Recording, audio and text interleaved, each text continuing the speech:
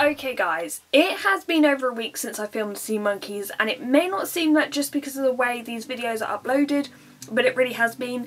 And I had some breeding pairs as you know, but they have split up since then because they were attached to each other for about three to five days. They really cling on to that one. Um, the males and females are still swimming around afterwards, but there has been a sudden decline in the male population. And whether that's because the females are all being bred with, the genes have been passed on, they're no longer needed, possibly. Um, but they certainly have gone through quite a decline lately. So it's really sad to see actually because you'll notice they'll swim a lot slower and they'll be at the bottom of the tank and then eventually they'll slow down and die.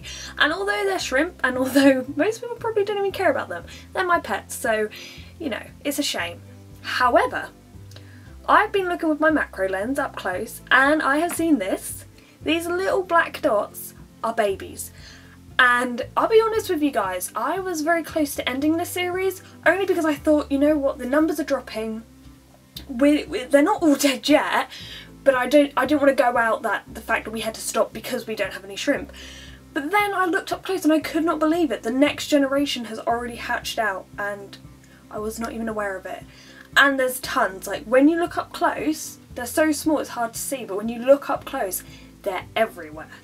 So I do put a tiny tiny bit of yeast in here although I don't want to like over murk up this water because um, it's already luminous green and there's a nice load of algae in there but I will add in a tiny tiny bit of yeast I just use the easy bake yeast normal sort of stuff and only uh, I only have to do a tiny amount because obviously yeast gets bigger in water so I'm just doing now just measuring some out oh, well, that was probably too much.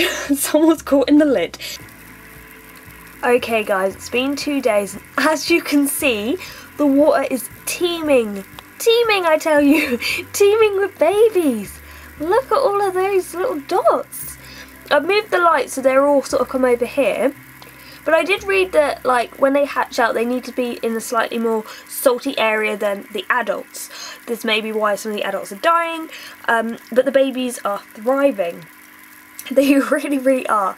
It's been two days since I last saw them and it seems like the population has just gone up. Um, all the adults I've seen here seem to be females. There are a few young ones that could possibly turn out to be males, but um, so far it seems like mainly females and lots lots of babies. Right, so as I've described before, this is what happens when they die. So they continue to look like they're swimming, but they're at the bottom of the tank and they're not really moving anywhere. Now, I, I genuinely find this sad. Like, I don't like to see any animal die, even if it is a little shrimp. But this is just what happens, and clearly she's, you know, she's reproduced, she's done her thing in life, and now she has to die. Now, what I figured I would do, you see that little baby moving there? Yeah. Um, what I thought I'd do is leave the camera on her, see if she lays any eggs. Now, as I said, this is still sad, even though it's a little shrimp, but we may see new life pop out of her. So let's go ahead and leave the camera on her.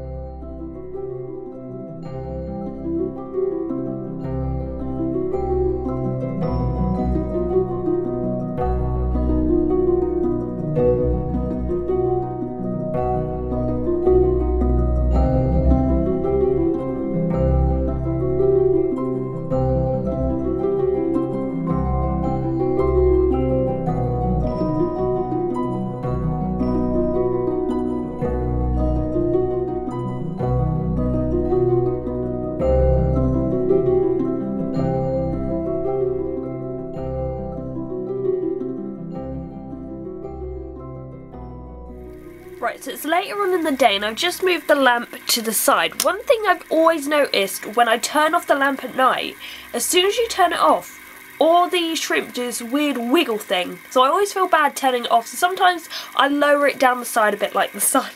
I know, it's, it's a bit weird. Anyway, um, one thing the light does do is it attracts the shrimp.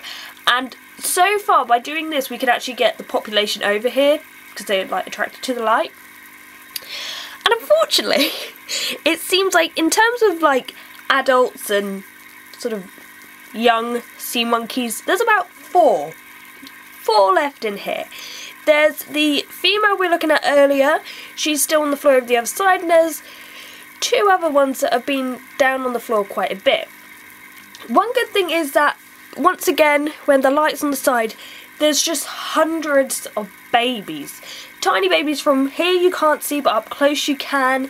And that just makes me think that maybe this water is better suited for the babies, raising babies, because they seem to be doing really well, even though the adults aren't. But, um, yeah. I sort of always knew this was going to happen, that, you, you know, we're going to lose quite a few shrimp. But it seems like they've done their job in life and they have sort of reproduced. So, that's all good.